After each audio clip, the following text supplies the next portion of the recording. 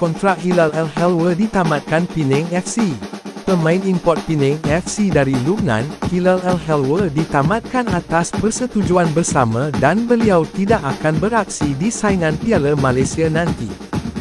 Perkara tersebut dimaklumkan oleh pihak pengurusan Penang FC disebabkan faktor kesihatan bapanya menyebabkan beliau terpaksa pulang ke Jerman semula. Sepanjang beraksi di Liga Super, Hilal membantu Penang FC dengan 5 jaringan gol dan 2 bantuan gol menerusi 19 penampilan. Rata-rata penyokong Penang FC merasa kehilangan pemain yang beraksi baik bersama pasukan.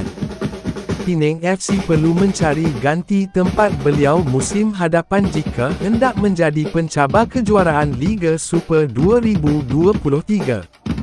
Jika anda suka info-info yang diberikan dalam channel ini, bantu saya dengan menekan butang subscribe dan butang loceng untuk mendapat notifikasi terbaru dalam channel ini. Assalamualaikum, terima kasih, jumpa lagi.